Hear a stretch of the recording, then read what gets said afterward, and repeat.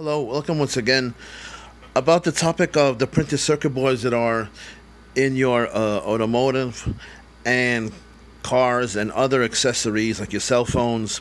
Once I discussed before about the printed circuit boards. Now, if you remember one time I spoke about surface surface mount technology, which is this, as you can see. You have resistors, you have smaller resistors, you have chips, you have bigger resistors, capacitors, which is the brown one, transistors. Sometimes you also have through hole. This is called surface mount. These are transistors over here. So on one side you have the components. The other side with this board, you'll have just the connections over here. Okay? You don't see any components on it. In the true sense, this is called double-sided. Okay? Whenever you have the connections on the other side, it's called double-sided. But what I referred to when I said double-sided to me was when I meant if you have, let's say, computer modules or air conditioning modules in your car or anything like that, double sided to me means you have components on both sides. Okay, that's what I mean when I say double sided. So you have components on one side, these are through holes. Over here, see the see the little holes that they go into the pads and surface mount. So it's like a hybrid. Okay, and on the other side, you also have components. So look at these components. Okay, obviously more resistors over here. R is a resistor, more functioning uh, diodes over here. So you have components on both sides. Why do we do this? Okay, obviously we're trying to compress the space as much as we can. We want to make the board as small as, as, possible for consumer electronics and other electronics. Your cell phone has become smaller over time because we can advance technology like this. We can make components on both sides. In between them, there's multi layers, which I discussed one time. These are layers inside. There could be a ground plane inside in between, which you cannot see. There could be a 5, 5 volt reference, 3.3 volt reference, 1.8 volt, whatever. There are multi layers in between. But the topic here is in your modules, your PCMs, your body control modules, your transmission control modules, we want to make everything smaller. By doing that, we have to make every possible space that we can. Okay? So, like I said before, your cell phone has become smaller. Your flat TV has become thinner and thinner and thinner. Right? What what allows us to do that? More more components on the front, on the top, and the bottom. Also, obviously, chips. As you can see, the chips are getting smaller and smaller and smaller. These are chips. They get smaller and smaller. Obviously, there's pros and there's cons. Obviously, the, the advantage is you can have a small cell phone. You can have a thinner TV. You can hang it on the wall. Okay, that's all we, we don't want bulky and heavy components like 30 years ago in TVs they had transformers for those of you who are familiar. We don't want those heavy things. We want light things. We want a small phone that we can carry that is lightweight okay? So with the push on the demand of the consumer we also have to try to come up with a solution of all these boards in automotive and other places that are used to try to make it as small as possible. Okay now i just said the components are getting smaller. Now, what that is the challenge. When you talk about automotive, you're talking about not just heat related problems, you're talking about, like I said before so many times, vibration. Okay? Like, you remember one time I spoke to you and I said, these are the pins. Okay? These are the pins right here. There are pads over here, and I'll show you a better example.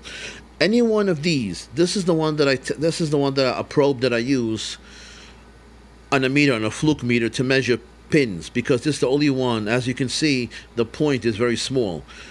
So this is the one that I use to measure from uh, multimeters with this type of point. I don't, I won't short out two pins together. So with this, as you can see, if one of these pins come up, it, it it won't be making contact, or you can have a cold solder joint. So obviously problems arise. The good part is we're making everything smaller. We've been making everything smaller. The bad part is components are getting smaller and harder to deal with. Now, this is consumer electronics we're dealing with, I'm referring to, automotive electronics, anything that you buy, a TV, anything like that. But let, let's my background is also military electronics. In the olden days or any days, they wanted to have government contracts. So, military contract was a great source of revenue for a company, a great amount of money. In the military, there are standards. Let's say for airplanes, avionics, let's say for ships, for battleships, believe it or not, every electronics has standards. It can't be soldered the same way that it's soldered for consumer electronics, for your car, for your Toyota. It has specific amount of solder. You cannot overflow the solder. You cannot make it more than it needs.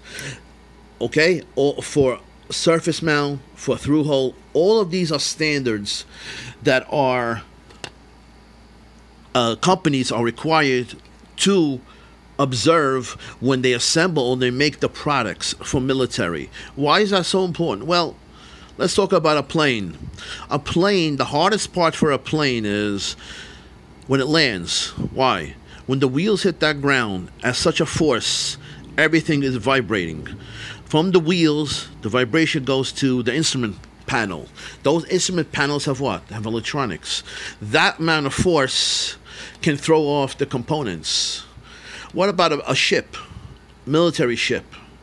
Well, a military ship, we had, let's say, four or five of these boards. Around there was a metal housing. You just don't make a product for military electronics the way you do for consumer. It has to pass specific tests. You put that housing that we had that was engineered, four or five boards with that housing for protection. It has to pass a specific a specific test, a vibration test. So here comes this weight that weighs about 300, 500 pounds, hits the force with all these boards inside. It has to withstand that force of, let's say, a torpedo hitting that ship, a battleship we're talking about, right? Military we're talking about. It took us about four or five years until finally we passed that criteria of, of that vibration test. This is why I refer to you as vibration is one of the worst enemies for surface mount technology. Okay? Now, it's not easy, but this is what the military requires. So that's my background and also consumer electronics and automotive, as you can see. So these are the problems. Now, this is double sided, like I just explained to you. The small components are the problems, the chips are the components. Now, on top of that, that I once explained, so I don't want to repeat the same thing over and over again on different videos, uh, here's another board. You can see this is double sided. This doesn't have the components, but here would be the, the if the components would be placed, they would be placed on this side. Chips over here. Here are the pads and here are the pins that make contact on the pads. As you can see, there's not much room for error. The surgical, I call it surgical, skill to do this is is absolutely amazing to do it by hand. Sometimes obviously produced by machine, but some components like through hole and other ones are done by hand, believe it or not, by assemblers. So you have to be very precise, as you can see. So one side, and then on the other side will be more chips. See these pads? There will be a chip on top of it. Here are the connections with these, with these connections from here to here. See these? You can say these are wires over here. Okay, so as you can see, you need good skill for this. Vibration in a car. Let's say you hit a bump, a speed bump in the school zone. Let's say you hit a pothole at 80 miles an hour, 90 miles an hour. This brings problems to these boards.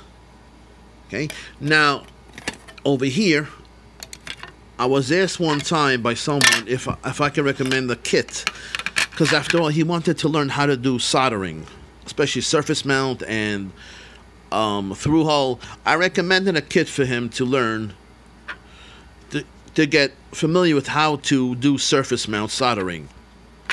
So as you can see, this would be for capacitor C11. The positive goes here and here. And these would be for chips on one side. Diodes would be three points over here. All these things, all these things would be for soldering. Okay. Now notice on this thing over here and here. There's something called an array. So BGAs have an array on them, like ball, uh, uh, uh, ball, ball grid arrays. They're called. So you don't have necessarily pads making contact. An example of that, like I said before. Okay. This is a kit. Okay. Look how precise you have to be. Look how small the components are. These soldering balls, if you want to call them that, make the contact with these. With these. Here's a contact, here's another contact, here's another contact. So all these contacts have to make contact with this. Here's the problem. Whether it's consumer electronics, let's say in automotive, not to say that it's already in automotive or, or probably in the future they will have this because this is over 15 years old this technology. And this is just from a kit. This is not the real thing. But this has to be done by machine not by hand. So let's say i put this over here. Okay? Okay? A precise try to get it as good as i can. Okay? Now you hit a bump. This isn't this isn't your automobile. You hit a bump, a speed bump. I'll say in a school zone you're supposed to go 20 miles an hour. You weren't paying attention. You went 35. You went 40 miles an hour. Okay, such things exist, unfortunately. Or let's say a plane. This is in a plane, right? You took off, but then you landed. Once you landed, boom, that electronics took a lot of force. What do you think happens to this? This will be shifted. This little shift, it could be less than 5 degrees, 10 degrees, whatever. This little shift just messed up where the balls will make contact with the solder. So now, see it's crooked? Why? Because you just hit a bump, vibration. Therefore, it moved from its original position. Therefore, these ball grids are not making proper contact with these. They're off. Doesn't matter if one is off or two is off. Your voltage could be off. Your your B plus supply could be off. You could be shorting two pins. Thus, that is the problem with all of this technology. These type that come out. If it shifts, this could be making contact with these two at the same time. You never know. Okay, so that's one part of it. Okay, that's one part of it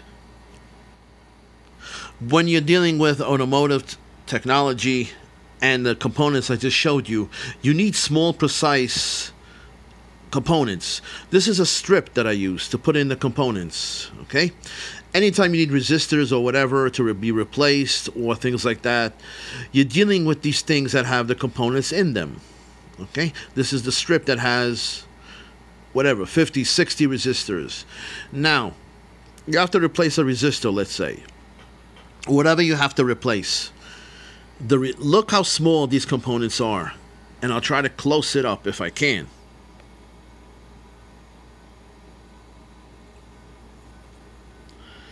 You're going to say to yourself, as you can see on this side, let me turn it over, hold on.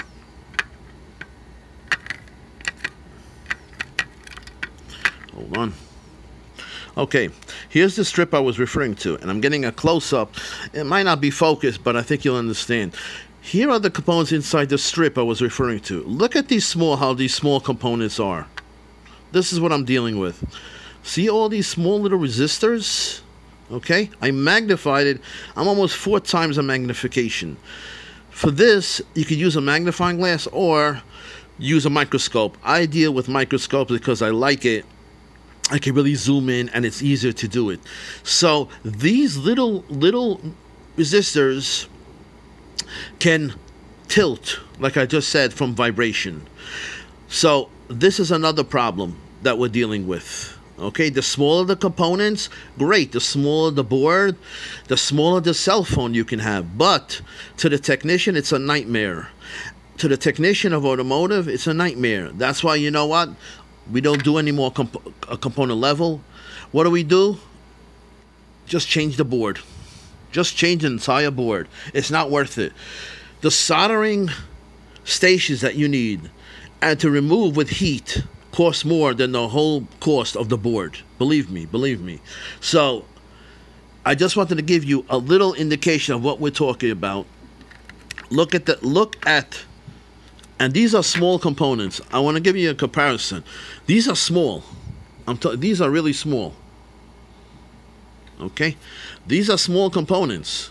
Resistor over here as you can see as you can see over here resistors are these are resistors. Take a look at this. This is even smaller than the smallest of this. This is what you're dealing with. So when these when you hit a vibration, this is what's happening inside your car. Or when you drop your phone on the floor and it doesn't work anymore, this is what you're dealing with. So I just wanted to give you an over overview. You're not going to see this on I guarantee you're not going to see this on any other channel. No, especially with automotive. This is a skill that's developed over time. I didn't learn this in school. I learned it obviously with so many years of experience. But mechanical or electronic problems, especially the electronic problems, there's too many sensors in cars, there's too many modules in cars. When you buy a new car, a Highlander, whatever you buy, TP, uh, uh, um, tire pressure monitoring system goes off, airbag system goes off. There are so many of these of these lights that come on your dashboard that every single time you finish with one problem, another light comes on, ABS comes on. I, I mean, there's so many. The Toyota Camry of today is not the Toyota Camry it was 25 years ago because there's so many electronic components with it, and so many things going on with these uh, uh, sensors and modules like just. But this is the modules we're talking about. This is what we're dealing with in the automo- automotive world.